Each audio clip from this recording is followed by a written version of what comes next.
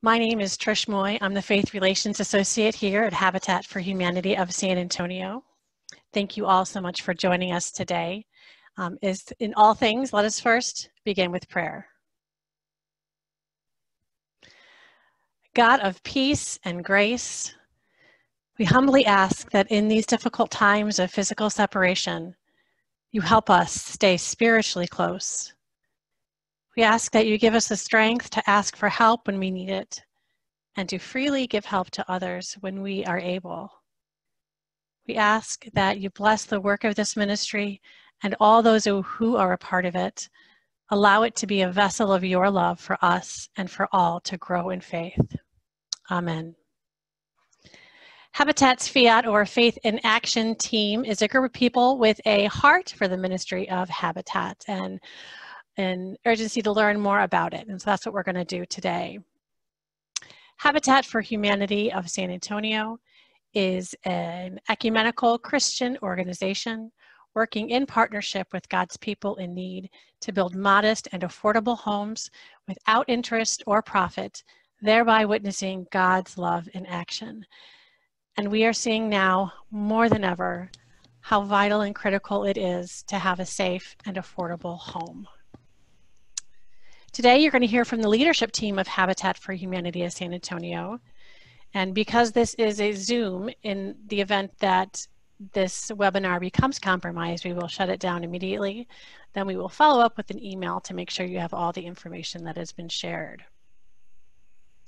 So today's agenda, we are going to learn how Habitat is managing during the COVID crisis. We're going to learn all about Habitat's newest neighborhood, Rancho Carlota. And we are also going to hear about the redesign of our homes beginning this fall. After each segment, there's going to be some time for questions. So all the participants' audio are off to keep everything clear, and it's going to remain off during the webinar. So we ask that you use the chat function to ask questions. And always, if you have any questions that come up later or that we didn't get to, uh, we'll try and answer those questions in a follow-up email to everyone, or you can always email me your questions at any time at faithrelations at habitatsa.org. A recording of this presentation and also uh, of the slideshows will be available upon request, or if you miss anything, if you would like to share it with a friend. Uh, you are also going to be emailed a survey after this. So since this is our first webinar, we'd really like your feedback on what we can do to make it better for next time. And if you have any questions about any of this, always contact me, Trish Moy at faithrelations at habitatsa.org. So our first presenter today is Habitat's Vice President, Stephanie Weiss. Thank you, Trish. Um, we're so happy to have all of you here today. Um, we appreciate you joining us and, and really uh, wanting to, to be a part of what we're doing with Habitat. Um, we love that. Um, what strange times that, um, that our August Fiat is actually held on a computer in everyone's living rooms. And uh, so uh, we appreciate you going along for the ride and, and determining how to, um, how to, to best work with us to get this information. Um, like to um, Tricia, if you can go on to the next slide, please. I'd like to first uh, talk a little bit about our, our summer interns. Uh, many of you are usually on site and you get to you get to meet them, um, but we, we ended the summer with six interns. Uh, we had five men, one woman, and uh, two were college students, four were high school students. Uh, one is going to be returning in some kind of capacity, but, um, or I'm sorry, one is a repeat uh, person who's who's been an intern in the past. Uh, so, you know, these were the folks, uh, these six folks, along with our staff and and the, the, handful of volunteers that we had, were really the folks that that got our houses built this summer. Uh, they they worked hard. Uh, they they were masked up all along the way, and uh, they kept things going. So, just wanted to give a great shout out to them, and thank you to to them being just super, you know, super um, helpers along the way. So um, main part of what I wanted to talk about is, sorry, um, I think my video's on, is that correct? Okay. Um, so, uh, so what I wanted to tell you is I wanted to tell you a little bit about uh, COVID and how this has all affected everything that we do. Uh, some of you we've gotten to see and talk to on the phone. Some of you um, are, are, just hearing from us right now. Um, uh, the, the big thing, the big thing that I want to impart is we are still building. We are doing what we do, uh, and we're we're holding true to our mission, and we are continuing to to build our houses. Um, housing is always essential. Uh, that's something that we as an organization have always known. We know how important home ownership is. Uh, you as our sponsors and donors and volunteers have always known that. Um, but I think we're kind of uh, sharing that message with the rest of the world right now. Uh, I think a lot of folks maybe took housing for granted and maybe uh, didn't really uh, didn't really think about it as much. But when we're all um, trying to shelter in place or spend more time in our homes, um, we have to realize how important housing is for our families. Uh, our, our families' needs have increased dramatically uh, in the last um, in the last several months, and um, keeping in mind that that we're working with families that um, they're having job loss, uh, both families that are already in their houses and families that have yet uh, to get into their habitat houses and families that we're just starting to work with. Um, but we're seeing job loss, we're seeing reduced hours. Um, we're obviously seeing people that are needing to spend more time at home in an overcrowded condition, uh, in a um, in a condition where it's um, you know it's just substandard. Um, so those are all all all problems, um, all things that we've we obviously try to address through um, through our work. And obviously now we're adding kids into the mix. There's more people that are that are doing distance learning from home, and and that's difficult. So uh, what we did, especially in the first couple months, especially in March and April and May during this pandemic, is we really reached out to our families. Uh, we're always in good good conversation with them. We know what they're doing. They, they reach out for technical assistance. Um, but we reached out to all of our families uh, and determined who had the most need. Uh, and or determined who had needs in the community. Uh, so we worked with a lot of programs that were already existing. Uh, the city of San Antonio got um, got an influx of funding uh, that we were able to um, you know to make available to our families. Uh, so that was everything from mortgage assistance to utility assistance in some cases. Um, some cash assistance from a new program that was available. So um, we're really happy to be able to to reach out and serve our families. If you can move to the next slide, please.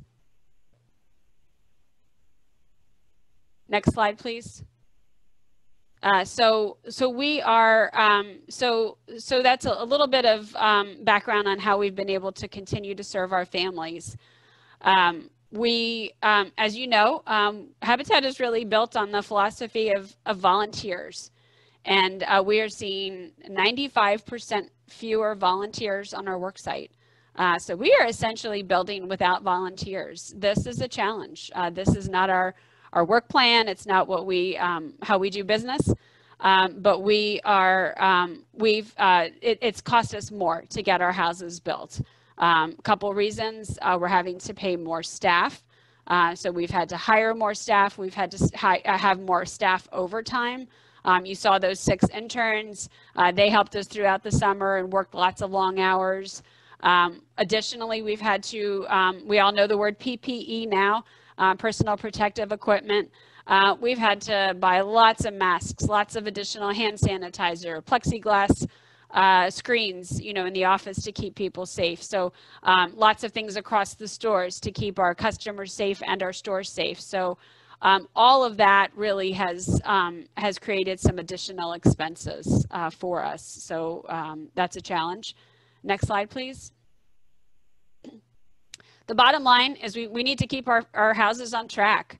Um, even with these additional expenses, um, we are doing everything we can to, to support our families, uh, to continue to do what we do uh, and support the families that need us the most. Um, uh, very early on, uh, there was some great funding that, that became available. Uh, we have applied uh, for some of it for COVID relief. maybe it was for buying PPE, maybe it was for paying for extra staff.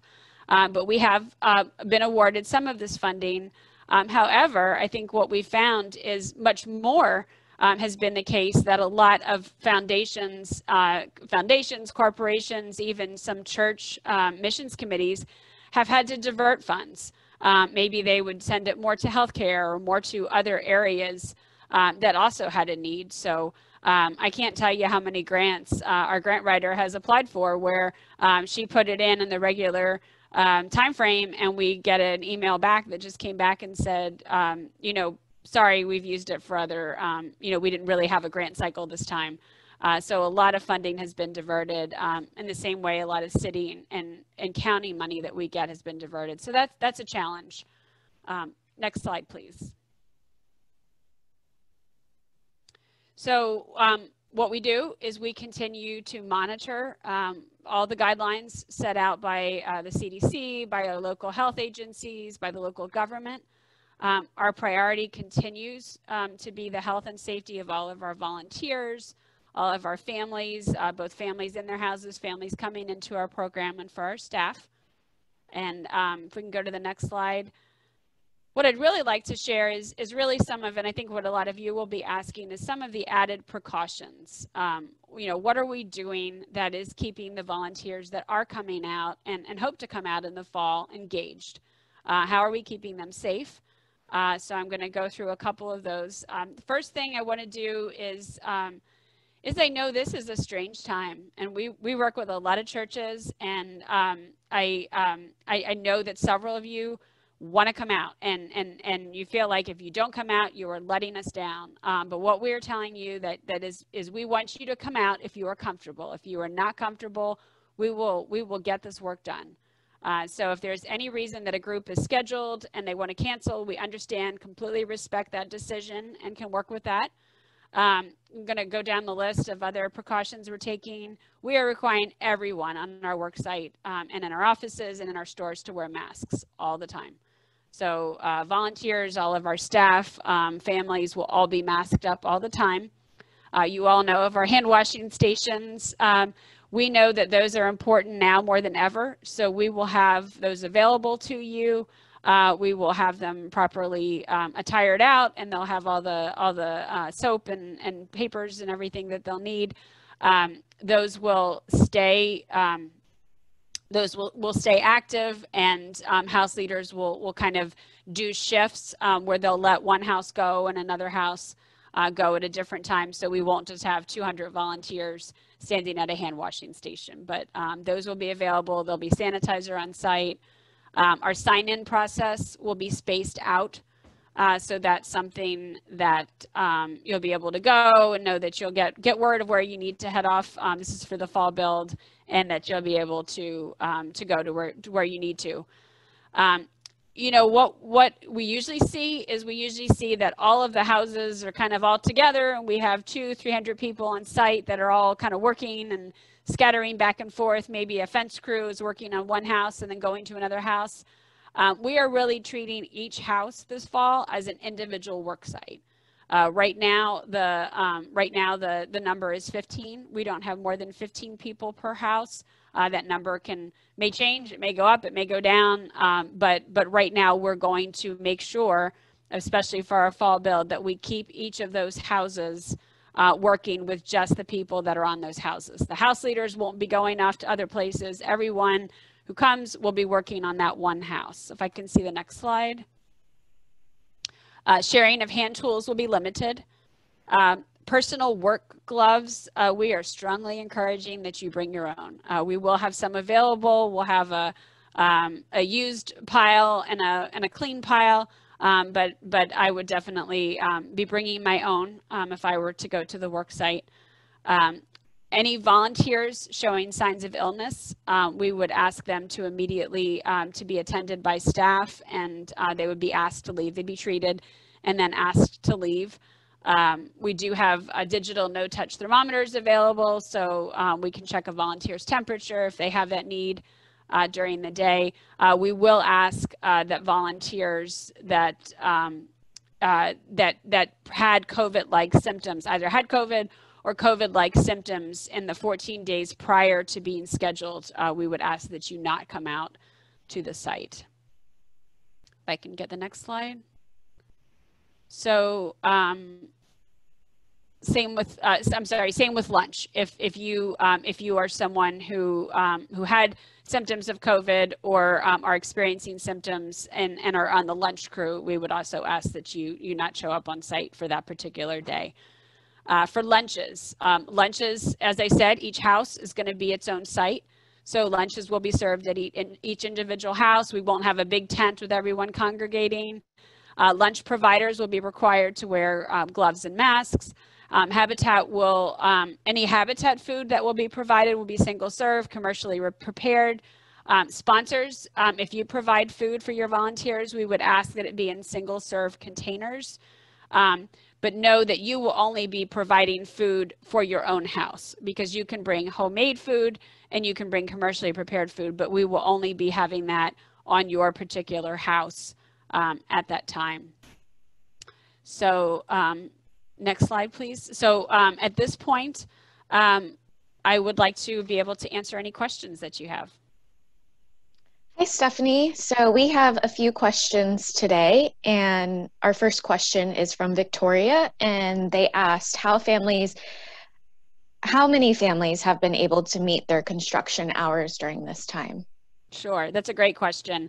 Um, we've been moving on with construction hours. Families have had no trouble. Um, we've we've been our family services department has been in constant contact with the families. Uh, no one is not getting a home because they're not completing their hours. So families all along have been able to complete their hours. We've stayed socially distanced. Uh, and um, we've really had no concerns from families about not being able to uh, be a part of the process. So, so while we have less volunteers, we have been able to um, to work with our families. So, very, very good question. But everyone's getting them in. We're working with them personally. Great. And our next question is What is the due date to let Habitat know if our church will provide volunteers? Sure. So, all of our fall sponsors have until August 22nd. Um, August 22nd is a Saturday. And uh, uh, either Trish or myself have um, emailed out a sign up genius form for you. Uh, so, so in order to um, be involved in the build, we would need to know what volunteers you have before August 22nd. So very, very good question there. What else do we have? And that leads into our next question. If we are not providing volunteers this fall, can we still arrange to drop off a gift or new home supplies for a family from a socially acceptable distance, of course, um, after the house is completed? Absolutely. We have um, um, yes uh, so so all of you spring sponsors um, a lot of you did the same thing you maybe dropped off gifts for the families or you know we did the same when we were giving you your plaques um, but absolutely we will coordinate with each sponsor and be able to have you get all of that information. Uh, at this point we don't know uh, what the house dedication may or may not look like. Um, we're working on a, a, house dedication video for the one for the summer. Uh, so we'll more information on how that may look um, towards the end of the build. What else do we have? And our next question, you answered a little bit, but just to reiterate, um, it asks Will Habitat be able to finish the homes if we don't provide any or as many volunteers this fall? So, that is a great question. And that is why we need to know by August 22nd um, how many volunteers we have in the fall. Uh, so I know each of you are really only involved in maybe part of a house or, or you know, maybe all of a house. Um, but we are, that's how we're tallying up is really looking at that, um, at that sign up genius and determining how many volunteers we have. And then we're adjusting uh, what we are doing with our construction staff, what we are doing with skilled trades, what we're doing with volunteers that are available during the week. So um, absolutely, we will be able to get the houses built, um, but we, we need to modify our plan based on knowing what you guys are able to do. So, um, so August 22nd, key, key date here, two weeks still. And the next question, for our sponsor lunch, are we still able to cook hamburgers and hot dogs on site? So yes, um, I would say hamburgers and hot dogs could still be cooked on site. Uh, what we will ask is that you bring single serve containers. Um, so if you are a master griller and you bring your, your grill out, um, you can grill everything. You can can put the hamburger and the roll and everything together, uh, and then give that to a volunteer. Um, you would have to either dress those things ahead of time. Obviously, you'd be masked up. You'd be wearing gloves. You'd be having um, doing all the social distancing and, and hygiene precautions. Um, but we wouldn't be able to have, you know, just a bottle of ketchup and a bottle of mustard out. Uh, we would need you to do that ahead of time or give them little individually packed, um, you know, mustards and ketchups. So there's ways that we can do that safely. If you have any additional questions on that, you can talk to Trish or myself. And the next question is the 95% reduction in volunteers due to Habitat for Humanity of San Antonio restrictions or groups going on furlough from volunteering? And this is from Rachel. So the question is, um, so we are not restricting we are not restricting the number of volunteers that come out. Um, we are restricting the number of volunteers per house. Um, but what we are seeing is that we're just seeing a lot less volunteers. Uh, there has been, you know, usually we get to a point where we're just full and we have to turn people away. I don't think since March 17th there has been one weekend that we would have had to have turned one or two or three people away because we were full. Uh, so at no point are we turning folks away at this point. Uh, so uh, we have been able to continue building. Uh, the city deemed us essential, so we were able to to continue in a very um, safe and socially distanced plan. So it's not so much that we've been shut down, it's that we just see less volunteers because obviously people are taking care of their health or they're not able to come as a group. So we, we understand that and we're just trying to do the best to, to figure out how to get past that. And the next question comes from Fred, and he asks, due to financial constraints and lack of volunteers, are you reducing the number of houses that will be built this fall and spring? So this fall, we're still, um, these are houses that we have promised to families. Uh, our, our goal was to build 50 homes this year. We're still going to do that.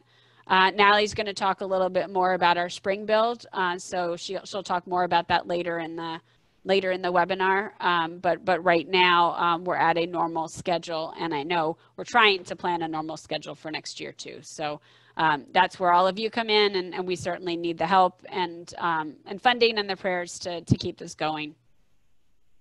And those are all of our questions for you. Okay, so. Um, really, really appreciate um, all of your time today uh, and uh, know that we can't do this without you. We can't serve our families and um, and and do what we do without all of your love and, and support. And um, and we love that. And uh, we wish we could see you in person today but uh, we will continue to um, communicate with you and let you know all the great things that we're doing and and how you can be a part of that. So next is um, Michael Taylor. He is going to uh, tell us a little bit more about Rancho Carlota.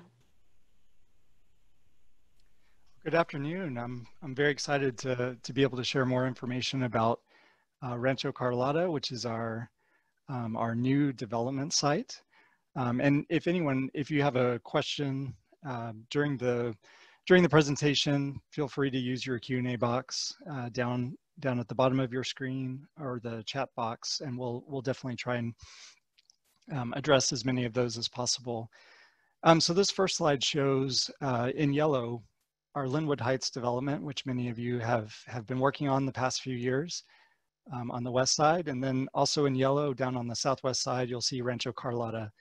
Uh, so this is our new, our brand new neighborhood. Um, you'll see it's not too far from Coleman Ridge and, and Palo Alto, um, just a little bit further down uh, 35 or, or Palo Alto. And let's see our next slide.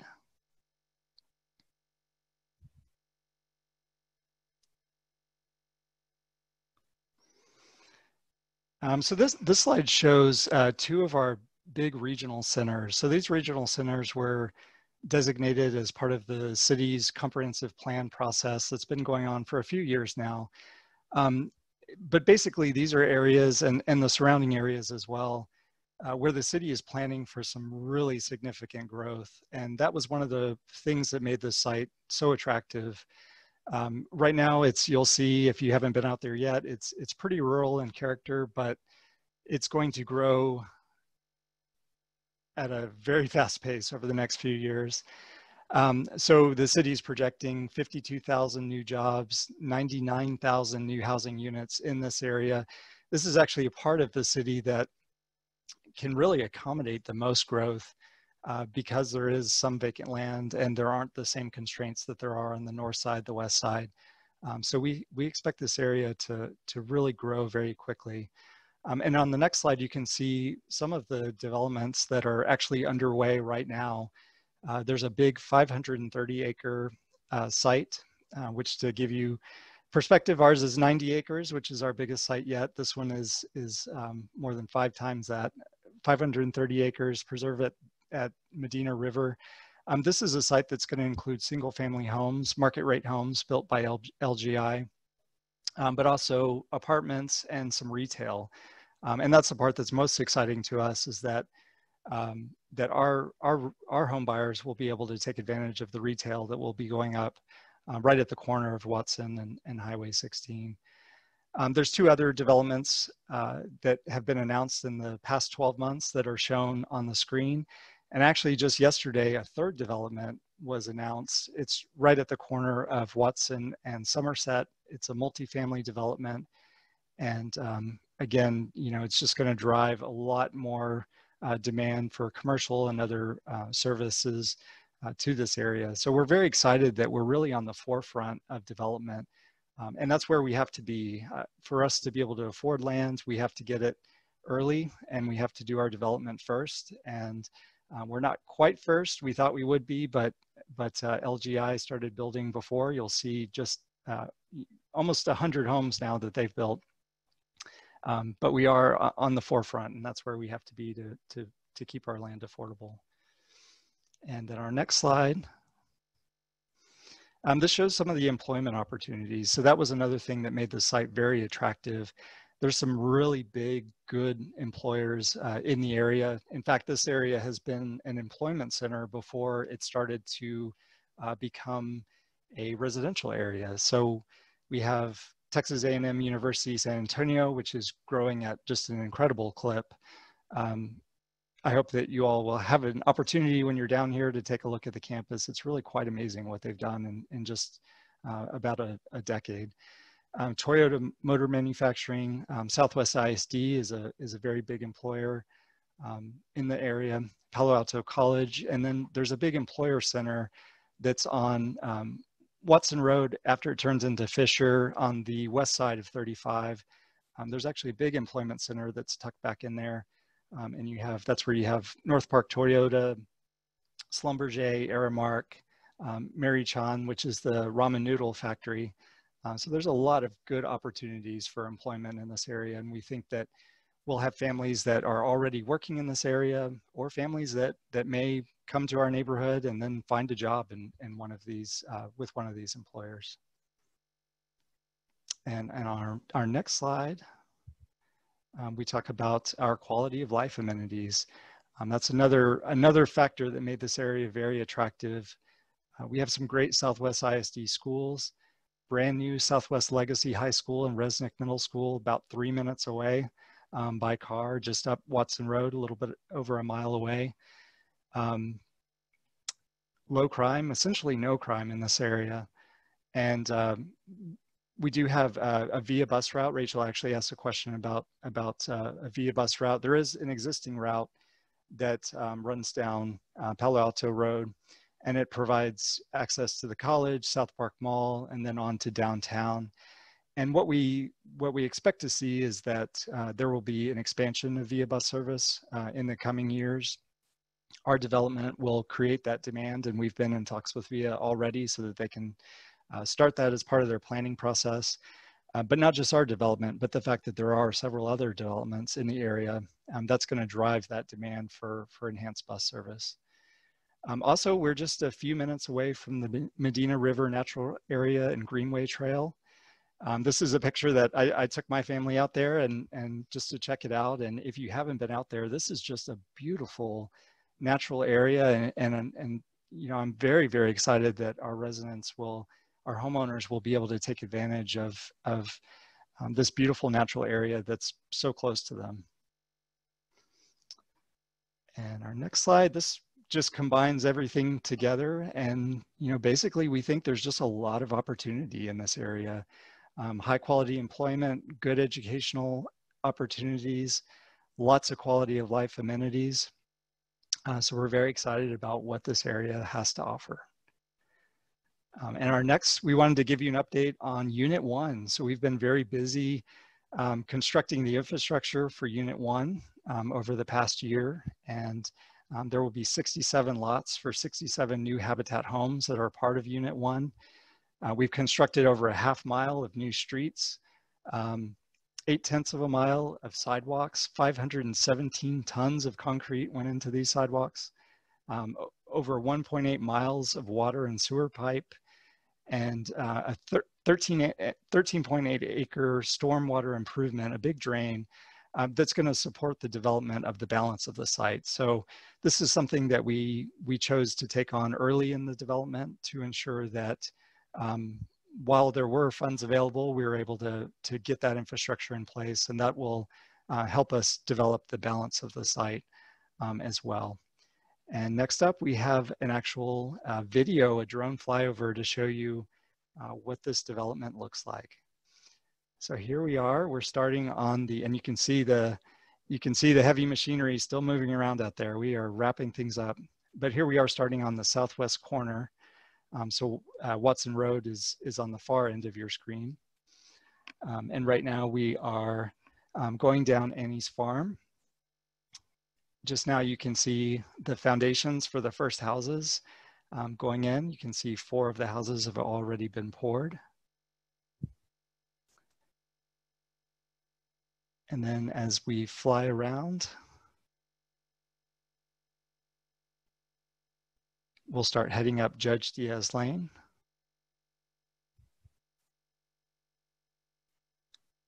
In the area between um, Judge Diaz and Watson, that will be for a future development, a future site. And then here you can see, um, we're looking, looking down Jim's path and you'll see Leroy's Crossing, which is our our entrance, the first of two entrance streets that will come off of uh, Watson Road.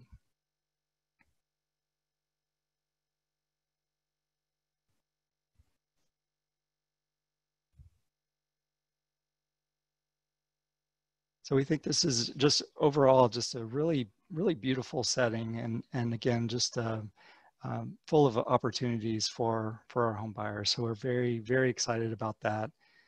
Um, and now I think we can do some questions if anybody has any questions. Okay, so our first question is where will the parking area be for this fall? Good question. So when you when you turn in off of um, Watson Road, you'll turn onto Leroy's Crossing, and the parking area will be um, to your left. Uh, there's a it, it's the area that I mentioned was for uh, future development phase. Uh, that's it's a big open field, so just like Lenwood, we'll have lots of space for cars, and um, that'll be our area until, eh, for the foreseeable future. Um, as we develop the balance of the site, we'll, we'll move the parking area around a bit perhaps, but that's where we'll start out. Okay, questions? and Rachel um, wanted to know, is it possible for Habitat for Humanity to influence the location of the next VIA Transit Center? Um, we have been in talks with with VIA, um, and you know the, there's obviously a whole lot of of consideration, a lot of studies that go into them deciding where to where to site those those transit centers. Uh, but I suspect, and and you know this is an area that is on their radar now. Um, I think they're they're everyone in, in the city and and VIA is learning just how quickly this area is set to grow. Um, of course, developers always know a little bit before uh, the, the city, you know, what their plans are, but um, this is an area that's poised for a lot of growth. So, uh, so we will certainly continue to work with VIA to, to see if that's an option. And Rachel would also like to know um, if the city of San Antonio is going to follow through with a bike lane promise for the area. Um, so I will mention our, our streets are actually designed um, they're multimodal, they're big 50 foot right away, so that can accommodate uh, cars and, and bikes as well. Of course, we have wide sidewalks for pedestrians. Um, you know, the we don't yet know what the plans are for, for Watson Road, Uh, this is an area that the city just recently annexed, so I think that they are are in the process of, of looking at that. Um, Watson Road would most likely have to be rebuilt as part of a bond project. Um, so we certainly hope that, that that will be in the future. Um, and when the city does redesign streets, they typically include uh, those bike lanes as part of it. And Rachel is also asking about community gardening in the area and if there will be education on invasive species. Um, we do uh, we do have a landscape uh, class that we do as part of our uh, part of our homebuyer education uh, suite of classes. So we do talk about um, landscaping and, and the native plants that, that we install as, as part of our development. And our next question is, um, will, the, will Rancho Carlota be like Lenwood Heights where the infrastructure will be going on for the next section while the first area's homes are still being built? Yes, so we are, we are currently in the design process for um, our next unit. So as soon as we start building homes, or actually even before we start building homes, we're, we're designing the infrastructure uh, for the next unit. So that's ongoing. It'll probably be late in the year before we start construction on that. Um, but for sure, you'll, you'll see us um, working on the infrastructure for the future units. And we do our, um, we make sure to coordinate that work with our infrastructure con contractor to minimize the interruptions uh, during the weekend especially. And our next question is, um, is Habitat using government funding for the infrastructure here too? And is there less government funds for the infrastructure due to COVID? We are we are using government funding. Um, that's that's been a, a, blessing for the past few years that, that we've had. Um, and you know, so far we have not seen a reduction in, in government funding. Um, funds have been diverted um, already. We've seen uh, quite a lot of money diverted for a COVID response. It has not impacted us yet. Um, but I think one thing that, that we've been trying to do, and, and I would hope that all of you will, will do as well, is, is talk to your elected officials and, and talk to your city council person and your county commissioner and make sure that they know that housing affordable housing that Habitat builds is important, and it's an important part of of the COVID response too. It, it's um, both short term, mid term, and, and long term. And so, um, you know, I'd certainly encourage all of you to to help us continue to to get those grant dollars that allow us to build this type of high quality development. And those are all of the questions that we have for you today, Michael. Okay, great. Well, I appreciate the opportunity to share the information. We're, again, just so excited about this new development, and I hope that you all will be too. Um, next up, Natalie Griffith, our president and CEO, uh, will be telling you more about our updated house plans. Natalie? Hello, everybody. Um, so I'm going to jump right in because I want to make sure that we don't run out of time. Uh, so we do have redesigned floor plans. Uh, and so we will be building these plans for the first time starting this fall. Uh, the house plans, we've added approximately 200 square feet to the very back side of the house. Um, we've eliminated the hallway to uh, help increase the bedroom sizes the additional length. It allows more cabinet and countertop space in the kitchen. Um, and we were even able to add a, a, breakfast bar in the kitchen. So that was a really nice addition. Um, we've added a small covered rear porch off the back door um, so that that'll help with keeping the rain off the back door. And um, we've relocated the water heater to a closet off of that back porch, uh, which allowed us to relocate the pantry into the utility area. Uh, additionally, we've added front elevation options uh, where uh, the porch, in addition to our standard elevation with the, uh, the porch posts and the porch railing, um, we've added an option of a more open porch with decorative uh, posts instead of a rail. Um, so as I mentioned, the fall homes will utilize uh, the new plans. Um, and so we're really excited to have you all um, help pilot those. Uh, next slide, please. other factors about the redesign is that the changes that we made were based on homeowner feedback.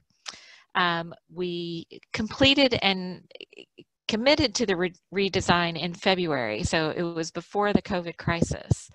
Uh, we estimated the cost of the plan changes to be between $5,000 and $7,000.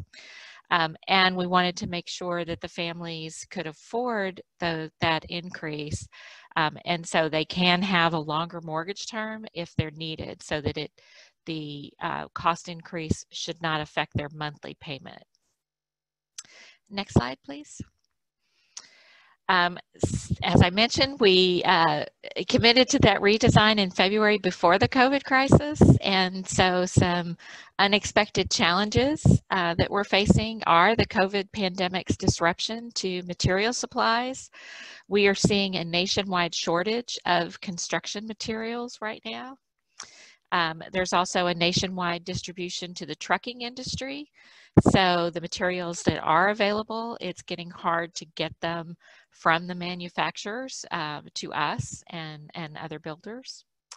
Um, we also have hurricane season. It's just starting up and that usually brings its own material disruption um, and price spikes. Uh, when the hurricanes hit the, the U.S., it does cause uh, construction materials to have price increases. Um, the other unexpected challenge is we have house sponsor uncertainty. Uh, you know, I, I, know you all are wondering what will sponsorship look like this fall and going into next year. Uh, as, as Stephanie mentioned, we are going forward. We feel like we've made commitments to families that we need to stand behind. Um, so we're doing that. Um, we are we know that it's uh, already costing more to build, and so I do have that concern about what that is going to look like going into next year. Uh, next, please. So some of our strategies to overcome those challenges um, is first and foremost is prayer and building on faith. Um, I, I, really don't believe that God wants us to stop or to not serve these families that he's guided to us. Uh, so we are focusing on how to overcome challenges instead of spending a lot of time about why or what's causing them. We're really putting our efforts into how to overcome them. Uh, we want to keep the families at the their needs at the forefront. They need us now um, more than ever. And uh, we want to continue our strong emphasis on stewardship in all that we do. Uh, we daily ask for God's blessing and we are committed to uh, trying our best to make sure that our work does honor him in everything that we do. Uh, one of my uh, daily prayers is uh, Psalm 28, verse 7 uh, The Lord is my strength and my shield. My heart uh, trusts in him, and he helps me, which fills my heart with peace and joy, and I praise him. And so I, I believe that building on faith isn't just a catchy little name. It's really what Habitat does um, and will continue to do. And, you know, sometimes our work is going to be easier than other times. And this is one of those times that it's just going to be harder. Uh, but we, it's important that we keep doing what we do um, and having faith in doing that. Um, so with that, let's look at the redesigned floor plan. Um, up next is, this is the floor plan. This is the three bedroom.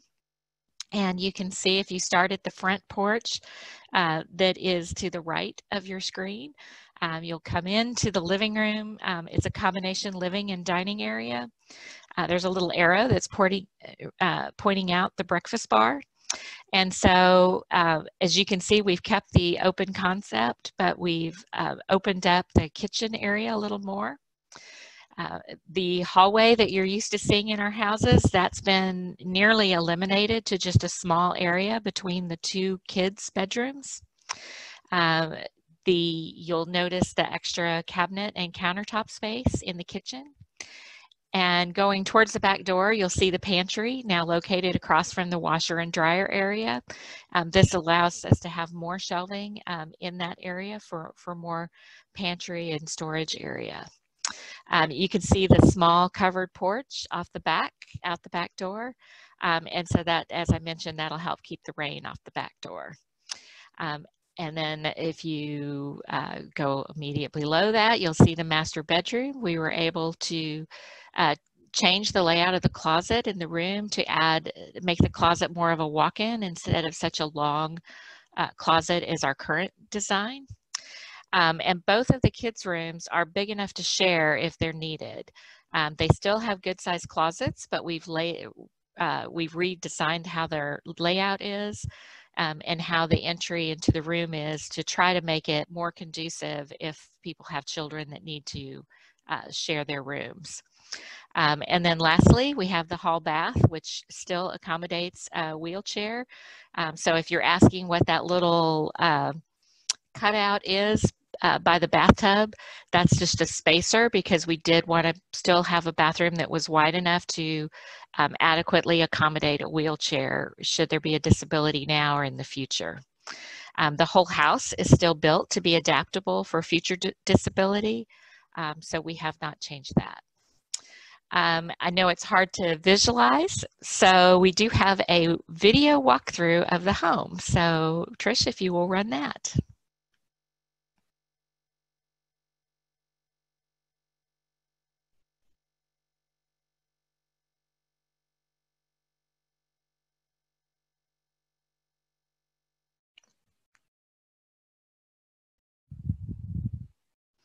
So there is the front door where you'll come in.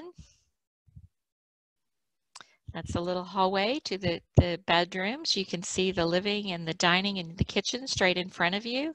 It's a really nice breakfast bar.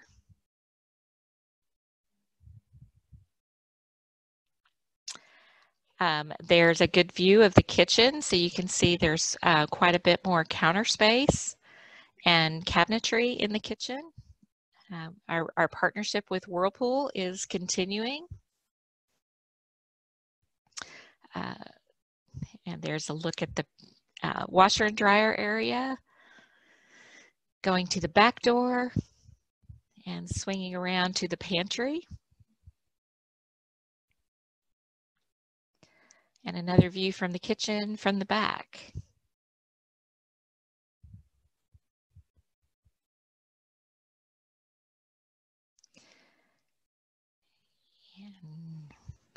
Our video is a little jumpy, so sorry about that.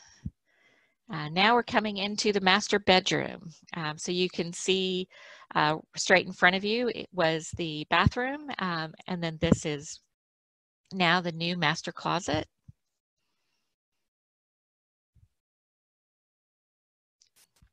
Um, and this is also a look at the flooring. So this is the flooring that we'll be using in the houses also.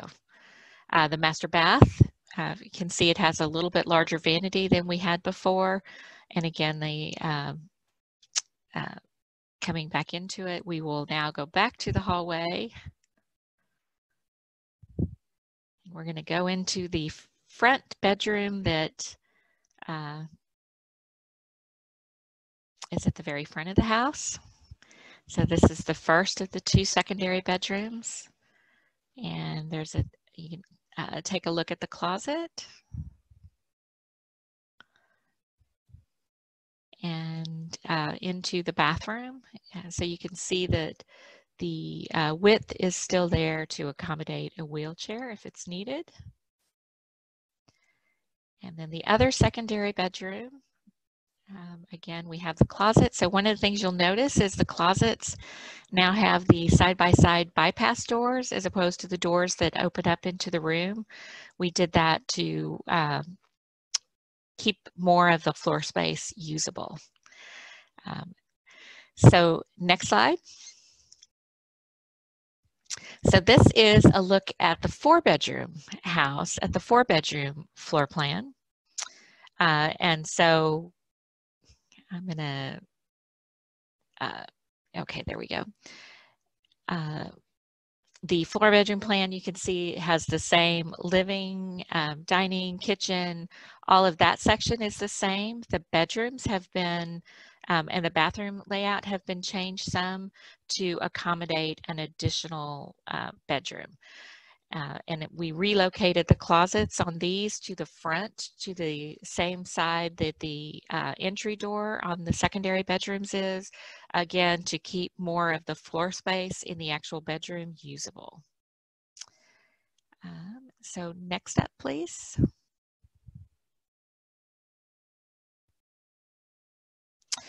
Um, so as I mentioned, one of the changes was uh, our, the front elevation. And so this is a, a drawing of our current elevation. This is the one you all are used to seeing with the three uh, porch posts and then the porch railing. Um, and next slide. And so this is a drawing of what the more open porch will look like. So you'll see it's down to two porch posts, and then the porch, the bottom of the porch posts will be done more decoratively. Uh, this just, these slides just show one of our roof lines, uh, but we'll continue to have six different roof lines, and each one will have the choice of the traditional porch with the railing or the open porch with the decorative posts. Uh, next slide. Uh, and so that's it for me. And so we have time for a few questions. Okay, so our first question is from Jim, and he is asking what percent of people stay in their home for 20 years? Oh, uh, good question. So um, we have been in existence for 44 years now. Um, so we really track things from when we first started. So um, I haven't broken out by 20 years, but for 44 years, um, it's very high percentage. We have about 96% of our families are still in, the original family is still in their home. Um, we have had, because, you know, 46 years is a long time, um, we have had some of the houses have turned over uh, because of a death of the original owner and um, and then we also have buybacks and we have um, very happy to say we just have a few foreclosures. Um, but the, the bulk of the homes that have turned over have been because families have either sold them back to Habitat um, or uh, uh, the situation of there was a death of the original owner. And so in some cases, other family members remain in those homes. And in some cases, those houses were uh, sold back to Habitat. And our next question is, will Habitat have all the materials for the fall houses or are you already short of anything? And what happens if you're unable to get that material? Really good question. Um, yes, I believe that we will have all the materials. We have most of them now. We have some items that we're still waiting for deliveries on. Um, some of it may be that we have some, um, uh, we, we may have some changes. Cabinets is uh, one of the things currently uh, that we are a little short on. We're waiting for our cabinet shipment, which is disrupted. Uh, the plan is to have them all for the fall by the time we get to the cabinet work. Uh, but that's a really good example of right now we're short some upper cabinets. Uh, so worst case is we'd move forward with the lower cabinets and then come back and do the upper cabinets at a later time. Um, there's definitely some material disruptions. I'm not as concerned about it for this fall as I am going into next year. Um, and that we're really working closely with manufacturers and our suppliers. Uh, and, and the good news is that most of the uh, vendors and suppliers we work with understand that habitat is a priority and so they're very interested in in trying to help us in any way they can get their materials um, but that is definitely something that we are going to be paying a lot of attention to and working on throughout uh, throughout the coming months and try to really stay ahead of that material shortage. Okay, and I have a few questions about the floor plan. Um, are doorways still wide enough to accommodate a wheelchair? And where are the air conditioners in the four bedroom plan? They didn't see it on the floor plan.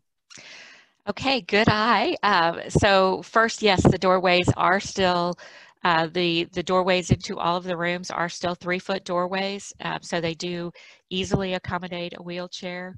Um, the uh, the air conditioning in the four bedroom is we are relocating that up into the attic um, and we're actually going to be monitoring that uh, the the current modern day units are better insulated than prior um, older year model units um, so our our HVAC contractors are telling us that it should not make a difference in the utility bill, but that's definitely something that we're going to monitor. But for uh, for now, the four bedroom uh, air conditioning will be installed up into the attic. So if you are building a four bedroom house, one of the things that you will be including in your construction is um, a uh, an attic stairway to be able to access that. And Natalie, if you could answer how many square feet are in each house? Uh, so it is just over 1,200 livable square feet, and uh, and then there's uh, just under 100 square feet of porches. Okay, and our next question is from Jack, and he would like to know what are the plans for habitat construction next year in 2021? Uh, sure. So right now we are um, we are we have we were planning originally to try to do 60 homes. We are scaling back some, but we're really going to try to finish 57 homes. Um, we've, again, as I've said, we've made some commitments to families. We've certainly made commitments to uh, some of our funders. Um, so we're we're going to move forward in faith and and try to do that. Uh, Stephanie talked earlier about how we have modified our building practices a lot to be able to finish homes um, and to build homes now with reduced volunteerism uh, and you know possibly in the future. Uh, we can accommodate any way you want to volunteer. Um, the one thing I am very proud of is uh, most of you all have worked with our house leaders and day leaders, and you know that we have really good folks who are are good at guiding you as you build a house. Well, they're also very good builders themselves. Uh, so we do have the the skills and the capability to uh, to build those houses and provide more of the labor ourselves. Uh, we are looking at how to balance our construction schedule into next year to make sure that happens. Uh, but again, I'm, I'm really, uh, I think that our major builds, our fall build, our spring build, um, that those we can accommodate uh, a variety of build models now in addition to the uh, two or three that you're used to seeing. And Fred is wanting to know if the resale, resale stores are still open and accepting donations of materials. Absolutely. Uh, our stores are still open. They have remained open. Uh, as Stephanie mentioned, we've really uh, increased our use of PPEs, uh, both in our stores and on the construction site. Um, and so we have been very fortunate that uh, that seems to have, have served us well. But our stores are still open. Um, absolutely welcome and need those donations. So thank you for that. And also if there's improvements you want to do in your home or your church or your office, please do shop at our store. It really does help us uh, do our work. And last question is from Kathy, and she would like to know um, because we talked about costs going up, have the sponsor prices also gone up as well? So right now they have not. Um, this fall was actually going to be our pilot. We've done our best to estimate um, and and be accurate about how uh, what those costs will be. Uh, as you all are building these houses this fall, you're going to help us confirm those costs. Uh, some things with the new floor plans, we were able to design them in a way to make some things easier in the construction process, uh, so that should actually help. Uh, but right now, for the fall, the costs have not um, increased. As we go into next year, um, you know, the uh, we, we don't increase, we try to give you guys lots of notice on any price increases um, and we'll continue to do that. Um, so right now I do not see a sponsor price increase uh, for going into the spring build. But what we are going to ask is if you can help with an increase, if you do get an increased support uh, for your mission activity, we're, we we would very much appreciate it if you could direct that to us.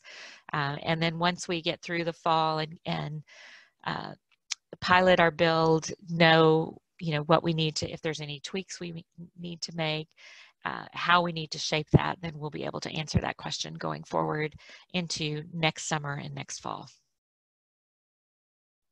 And those are all of our questions for you.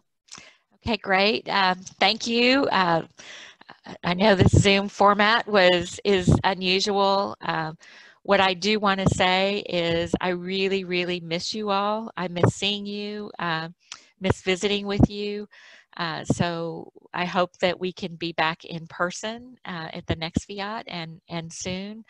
Uh, and I do look forward to seeing you on site. I hope that uh, you can come out in, in any capability that you are comfortable with um, and look forward to, to seeing that. We pre- appreciate you all very, very much. So God bless you all.